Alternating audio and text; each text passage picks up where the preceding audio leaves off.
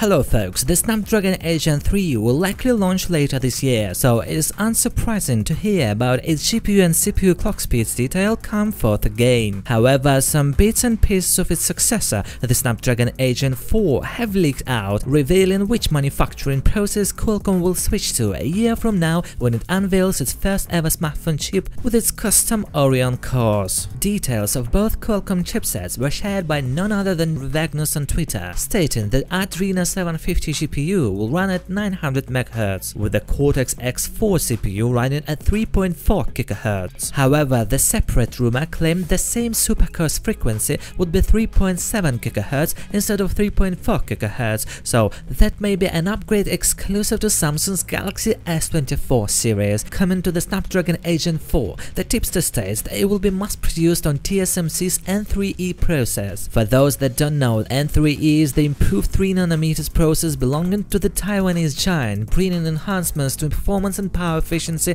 compared to the N3 or TSMC's first 3nm iteration. We also reported on the Snapdragon 8 Gen 4's potential multi-core performance, with the chipset being capable enough to beat Apple's M2 while obtaining a whopping 40% lead against the Snapdragon 8 Gen 3 in the same test. Qualcomm was earlier rumored to release the Snapdragon 8 Gen 3 in the 1 plus 5 plus 2 CPU configuration, where the chipset would feature one Cortex-X4 superscore. However, one rumor claims that there is another version in the works, on that could potentially deliver more performance, assuming the silicon's thermals can be tamed. So the other one with a 2 plus 4 plus 2 configuration, meaning that the more powerful variant could tower two Cortex-X4 cores while running fewer Cortex-A720 cores. The 2 plus 4 plus 2 configuration naturally means that the Snapdragon 8 Gen 3 will bring more performance to the table, and it is not like this is the first time a company will take advantage of multiple performance cores. Google followed this practice with the Tensor G2 found in the Pixel 7 series, with a chipset featuring two Cortex-X1 units instead of one. Naturally, Qualcomm will only finalize one version unless the company has different plans, but our assumption is that the version which delivers the most performance for the least amount of consumed power will make it through to the press release. Assuming the Snapdragon 8 Gen 3 with two Cortex-X4 cores manages to make it past the finish line, how does Qualcomm intend to control its thermals? I just don't get it. Keep in mind that the Snapdragon 8 Gen 3 is reported to stick with TSMC's 4nm process, the same one used to mass-produce the Snapdragon 8 Gen 2. So other than tweaking the chipset design, Qualcomm doesn't have the luxury that Apple possesses with the Taiwanese giant's cutting-edge 3nm technology. Then again, the Snapdragon 8 Gen 2 has been praised for its remarkable efficiency, so the Snapdragon 8 Gen 3 might be able to pull it off. However,